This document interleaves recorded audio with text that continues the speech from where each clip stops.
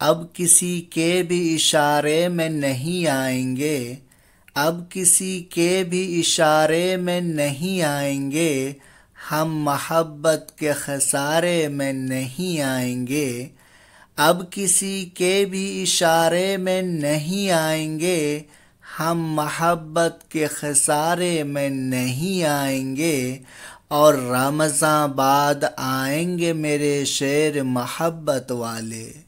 रमज़ां बाद आएँगे मेरे शेर मोहब्बत वाले। हाँ मगर आपके बारे में नहीं आएँगे। आदाब दोस्तों। दोस्तों, इस वीडियो में सिक्सटी फोर्थ बी के सवालों का तजिया करेंगे और देखेंगे कि कौन सा सवाल कहाँ से आया है। तो आइए दोस्तों, वीडियो का बाजाबता आगाज़ करते हैं। दोस्तों सिक्सटी फिफ्थ बी के उर्दू ऑप्शनल का तजिया हो चुका है। अगर आपने नहीं देखा है तो उसका लिंक डिस्क्रिप्शन में है। ये सिक्सटी फोर्थ बी का क्वेश्चन पेपर है। और देखेंगे कि इसमें कौन सा सवाल कहाँ से आया है। और इंस्ट्रक्शन आपको मालूम होगा दोस्तों, मैं दोबारा से बता देता हूँ। इंस्ट्रक्शन ये है कि ये आपका सेक्शन वन है तो सेक्शन वन से तीन सवाल करना है और सेक्शन टू से भी तीन सवाल करने हैं तो तीन और प्लस तीन। टोटल आपको छः सवाल करने हैं और एक सवाल में फिफ्टी मार्क्स हैं तो छः सवाल मिला करके थ्री हंड्रेड आपका टोटल हो जाएगा। और इसमें ये एक अहम बात यह है कि ये जो सेक्शन वन में ये क्वेश्चन पेपर क्वेश्चन वन है तो ये कंपलसरी है, लाजमी है, ये आपको करना ही करना है।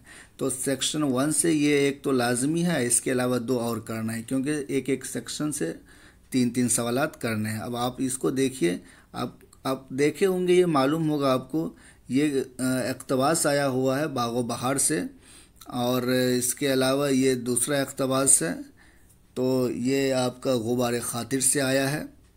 थोड़ा फास्ट में चलेंगे दोस्तों, क्योंकि क्वेश्चन पेपर ही देखना है इसमें।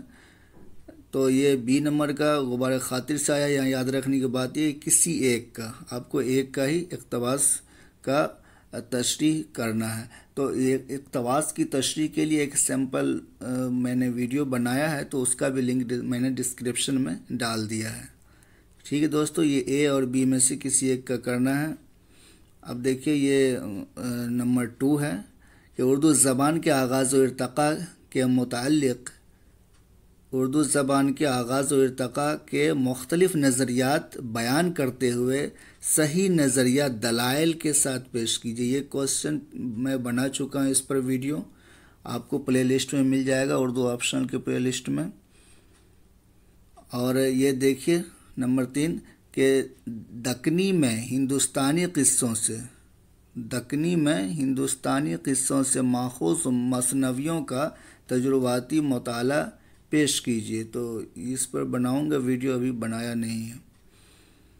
और नंबर फोर देखिए कि गालिब की शायरी में ज़बान बयान के साथ फ़िक्र फ़न के अनासर की इनफरादियत मिसालों से वाजह कीजिए।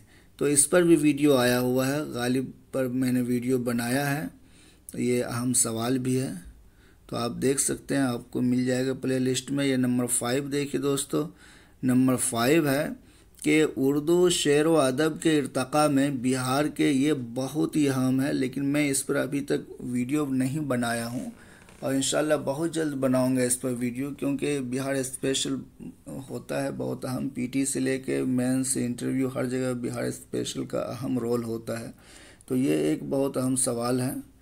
तो इस पर वीडियो आएगा इन और इस पर भी मैंने वीडियो नहीं बनाया है कि ड्रामा अनारकली का फ़नी नुक़ नज़र से जायज़ा लीजिए। फ़नी ये वर्ड दे दिया है फ़नी तो इसके फ़िक्री नुक़ नज़र पर नहीं जाएँगे, सिर्फ़ फ़न पर ही फोकस करके जवाब लिखेंगे। तो ठीक है दोस्तों, आप समझ ही गए होंगे कि सेक्शन वन से तीन सवाल करना है, ये तो कंपलसरी है, और इसके अलावा दो और करना है, इसमें से आप चुन सकते हैं। ये दो, तीन, चार, पाँच छः इतने में से कोई दो आप चुन के कर सकते हैं। अब सेक्शन टू में आइए। सेक्शन टू में भी जो पहला सवाल है, ये लाजमी है। जिस तरह से सेक्शन वन में पहला सवाल लाजमी था, उसी तरह से सेक्शन टू में पहला सवाल, ये सात नंबर का सवाल लाजमी है। आप देख सकते हैं इसमें अशार आए हुए हैं। मैं आपको बता देता हूँ, कौन सा शेर किनका है। ये पहला ए नंबर में देखिए। नहीं याद किस्सा तूर क्या, कि कलीम का है कसूर क्या। ठीक है दोस्तों, ये शेर शाद आबादी का है। नहीं मानता दिले बेहया, कहो काश अब तो हया करे। ये शाद अजीम आबादी का शेर है ये। ठीक है दोस्तों बी नंबर देखिए। बी नंबर है, आलम आलम इश्क जुनू है। दुनिया दुनिया तोहमत है। दरिया दरिया रोता हूँ मैं, सहरा सहरा वहशत है। ये शेर मीर तकी मीर का है। मीर तकी मीर का शेर है ये। मीर तकी मीर बहुत इम्पोर्टेंट है दोस्तों। दो दो अशार तो इनके यहाँ से आएँगे, मीर के यहाँ से और दो गालिब के यहाँ से, ये जान लीजिए। और इसके अलावा बिहार स्पेशल में आप इसको पढ़ सकते हैं, शाद अजीमाबादी को। तो अब सी नंबर देखिए, जबकि तुझ भी नहीं कोई मौजूद तो जानते ही होंगे आप गालिब का है। फिर ये हंगामा है, खुदा क्या है। तो गालिब और मीर, ये दोनों को अच्छे से पढ़ने की ज़रूरत है। गालिब और मीर को अच्छे से पढ़ लेंगे ना तो समझ लीजिए कि इसमें पाँच करने के लिए पूछ रहा है तो चार आपका आ जाएगा। दो गालिब के यहाँ से, दो मीर के यहाँ से। तो कई गज़लों की तशरी पर वीडियो आया हुआ है, अपलोड किया है। मैंने, आप देख सकते हैं जहाँ और अभी करूँगा धीरे धीरे। और ये सी नंबर देखिए, सी तो हो ही गया है, और उल्टी हो, ये है, उलट जाएँगे तदबीरें, बदल जाएँगी तकदीरें, हकीकत ये नहीं मेरे तखयल की ये खलाक़ी तो ये शेर किन का है? ये शेर है इकबाल की गज़ल से। इकबाल की गज़ल से ये शेर है। इकबाल का शेर है ये। ठीक है दोस्तों, अब ये देखिए नीचे ई नंबर में कि इश्क से ताबियत ने जेस्त का मज़ा पाया। गालिब का है, जानते होंगे आप। दर्द की दवा पाई और दर्द ला दवा पाया। और ये एफ़ नंबर देखिए, ले सांस भी आहिस्ता के नाजुक है बहुत काम। ये जो गज़ल है ना दोस्तों, ये इस गज़ल की तशरी को मैंने अपलोड किया है। आप चाहें तो देख सकते हैं।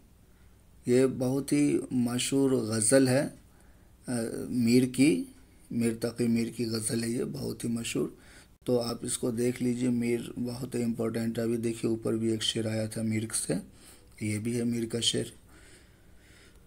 तो अब, ये जी नंबर में देखिए, वो बात सारे फसाने में जिसका ज़िक्र ना था, ये बहुत ही मशहूर शेर है, फैज़ अहमद फैज़ का, जानते ही होंगे आप। वो बात उनको बहुत नागवार गुजरी है। फैज़ अहमद फैज़ का है। फैज़ अहमद फैज़, हालाँकि बीपीएससी के सिलेबस में कुल्लियात फैज़ दिया है। कुल्लियात मतलब उनका टोटल कलाम, जितनी भी, जितना भी कलाम है, नज़म है, गज़ल हैं, सारा कुछ। लेकिन अगर आप ये अगर आप सिर्फ़ दस्त सवा भी पढ़ लेंगे ना तो आपका काम चल जाएगा। दस्ते सवा गालिब, मीर, इकबाल, ये तीन को पढ़िए और उसके बाद फैज़ और आपका शाद जिम्माबादी तो इतना को पढ़ना बहुत ज़रूरी है। अब ये एच नंबर देखिए दोस्तों, शेर है कि इश्क की एक जुस्त ने तय कर दिया किस्सा तमाम। इस ज़मी, इस ज़मीओ आसमां के बेकड़ा समझा था मैं। ये शेर है गालिब का। गालिब का ये शेर है दोस्तों। ऊपर भी गालिब का आया हुआ था। आई नंबर देखिए। सितम है आदमी के वास्ते मजबूर हो जाना, ज़मी का सख्त हो जाना, फलक का दूर हो जाना। बताएँ किन का शेर है? ये शाद अजीम आबादी का है। ऊपर भी एक शेर आया था, शाद अजीम आबादी का है। तो शाद की कुछ गज़लों को हालाँकि मैंने एक भी गज़ल उनका अभी तशरी में नहीं डाला है पर अब मैं चाहता हूँ कि डालूँ उनका क्योंकि बहुत अहम है। और ये गज़ल आप शायद पढ़े होंगे इसका मतलब क्या है? आ, ऐसा है कुछ मतलब ना कि हम्म, क्या तो मतलब है इसका? कि सितम है आदमी के वास्ते मजबूर हो जाना। हाँ इस तरह से मतलब नहीं मतलब तो मैं, मुझे अभी याद नहीं आ रहा है, पर मक्ता बताता हूँ। मक्ता कुछ यूँ है कि जो सच पूछो तो शाद अपने किए कुछ नहीं होता। खुदा का दैन है इंसान का, मशहूर हो जाना। ये मक्ता है तो इस गज़ल की तशरी डालेंगे। अब ये देखिए दोस्तों, आठ नंबर है कि इस पर ये बहुत ही अहम सवाल है, ये अक्सर रिपीट होते रहता है। इस पर बहुत अच्छे से मैंने वीडियो बनाया है कि गालिब के खतूत अपने अहद की सियासी, तहजीबी और अदबी दस्तावेज़ हैं। इस अजमाल की तफसील पेश कीजिए। तो इस पर वीडियो आया हुआ, आप देखेंगे खतूत गालिब पर। खतूत गालिब के हवाले से वीडियो है प्ले लिस्ट में, उर्दू ऑप्शन के नाम से प्ले लिस्ट है, वहाँ से आप यहाँ से मदद ले सकते हैं, वहाँ से बहुत मदद मिल जाएगी उस वीडियो को देख करके। फिर आप नोट्स बना लीजिएगा अपना। नंबर नाइन देखिए दोस्तों नंबर नाइन में दिया हुआ है कि उर्दू तनकीद नगारी के इरतका में बिहार के नाकदीन की खिदमत का तजियाती मताल पेश कीजिए। एक क्वेश्चन ऊपर भी आया था बिहार स्पेशल के हवाले से और एक ये दूसरा है। तो इसमें मेन कलीमुद्दीन अहमद, वहाब अशरफ़ी, ये दो चार पाँच जो अहम नाम हैं उनका ज़िक्र करेंगे। ये मैं बनाऊँगा वीडियो इस पर, इंशाल्लाह। इसमें जितने भी क्वेश्चन हैं जिस पर मैंने वीडियो नहीं बनाया है तो उस पर मैं सारा वीडियो बनाऊँगा। इसलिए अगर आप नए हैं चैनल पर तो सब्सक्राइब कर लीजिए, क्योंकि आने वाले दिनों में यहाँ से आपको बहुत सारा आपको मिलता रहेगा और नोट्स बनाने में मदद मिलेगी। नंबर टेन नंबर टेन है, इकबाल की शायरी फ़िक्र फ़न का हसीन इम्तजाज है। इम्तजाज यानी मिला जुला रूप है, फ़िक्र भी है और फ़न भी है, दोनों का एक मिक्सचर है, उसको इम्तजाज कहते हैं। तो इस कौल की वजाहत मिसालों और अहम नाकदीन की आरा पेश करते हुए कीजिए। आरा जानते होंगे, राय की जो राय का वो है, क्या बोलते हैं उसको, राय राय का पुलरल है, आरा, राय का पुलरल आरा है। ठीक है दोस्तों? तो अब इसमें आपको उसी तरह से लिखना है, मिसालों के साथ मिसाल क्या, कहाँ से मिसाल देंगे? आपको अशार याद रखने होंगे। गज़लों से, नज़मों से, दोनों जगह से आप अशार आपको यहाँ पे देने हैं। वही मिसाल है। ये मिसाल दे रखा है। मिसालों से वाज करिए। तो आपको अशार देना होगा अपने बात, अपनी बातों की तस्दीक के लिए। और कुछ एक आध आप ये रट लीजिए। रटना ही पड़ेगा, क्या करिए? कोटेशन को तो रटना ही पड़ेगा ना। कि इकबाल के बारे में, इकबाल की शायरी के बारे में अगर किसी ने, किसी नाकद ने कुछ कहा है तो आप दो एक लाइन का, दो चार जुमले का, दो या तीन जुमले का कोटेशन रट लीजिए। जैसे कि कहा है ना कि हम नाकदीन की आड़ा पेश करते हो? अगर आप दे देते हैं कोटेशन तो ज़्यादा मज़ा आएगा। अगर आप कोटेशन नहीं देते हैं, सिर्फ़ उनकी जो राय है, किसी ख़ास नाकद की, जिसने इकबाल के बारे में कहा, बहुतों ने कहा है, बहुत सारे लोगों ने कहा है।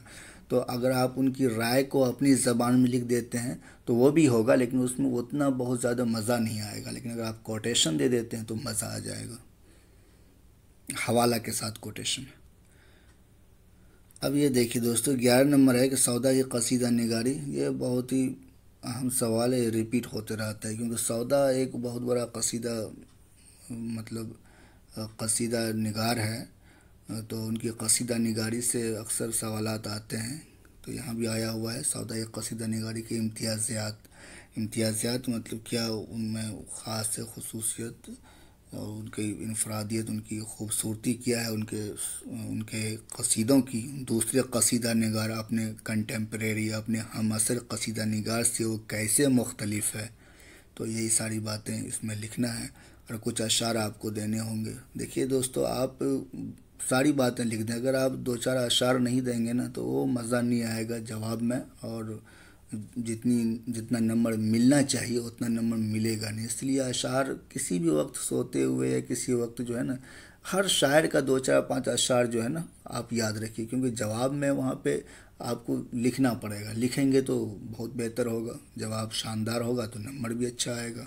और उनको एग्ज़ामिनर को भी लगेगा कि जो इन्होंने अगर एक सवाल लिखा है, इसमें इन्होंने दो तीन अशार दिया है तो ज़ाहिर सी बात है ये पढ़ा होगा। तो बेहतर रहेगा। अब आखिरी सवाल देखिए दोस्तों, सवाल है आखिरी कि उर्दू नसर निगारी की तारीख़ में मीर अमन के मकाम का तयन कीजिए।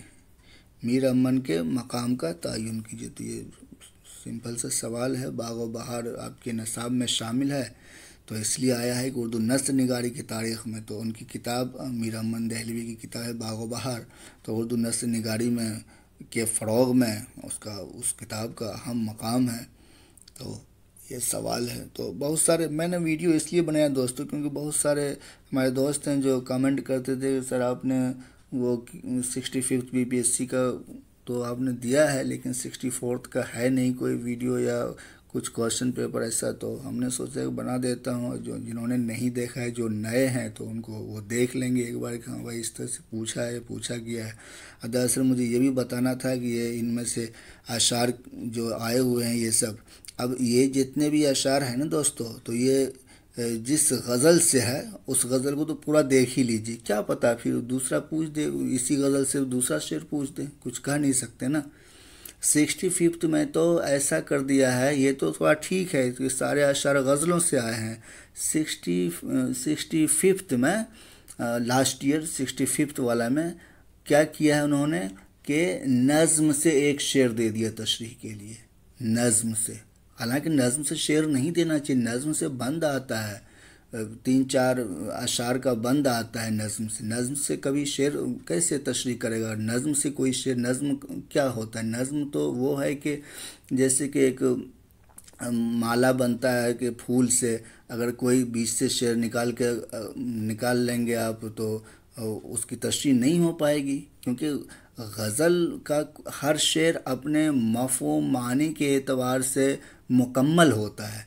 लेकिन नज़म का कोई शेर अपने मफहम और मानी के एतबार से मुकम्मल नहीं होता है ना, उसमें एक पूरी नज़म में एक मरकज़ी ख्याल होता है। लेकिन यहाँ पे गज़ल में हर शेर का एक मरकज़ी ख्याल होता है। आप जानते ही होंगे, ये कॉमन सी बात है, हर कोई जानता है कि गज़ल का एक शेर किसी और टॉपिक पे हो सकता है और दूसरा शेर किसी और मौजू पे हो सकता है। दूसरे शेर में कोई और बात बयान करते हैं शायर। लेकिन नज़मों में ऐसा नहीं होता। है नज़म में एक तसलसल, एक रवानी होती है कि एक मरकज़ी ख़्याल को वो पूरे नज़म में उस तरह से करता है। लेकिन दिया है तो सिक्सटी फिफ्थ में शेर से दिया है। शेर उठा के मतलब नज़म से एक शेर उठा के दे दिया। तो खैर जैसा भी पूछे, पर आप नज़मों को ही पढ़िए। अगर पूछता है तो आप उस तरह से तशरी कर दीजिएगा और क्या कर सकते हैं। जैसा पूछे वैसा लिखना ही पड़ेगा। आप क्या करिएगा? लेकिन इसमें एक भी शेर जो है, इतने जितने भी अशार हैं, कोई भी अशार इसमें कोई ये इससे नहीं है, नज़म से नहीं है। नज़म से तो देना ही नहीं चाहिए, पहली बात तो। ये कोई तरीक़ा ही नहीं है कि आप नज़म से एक शेर दें तशरी के लिए। क्या क्या तशरी होगी उसमें? खैर, मिलते हैं किसी नए वीडियो में। अपना ख्याल रखें। अल्लाह हाफिज़।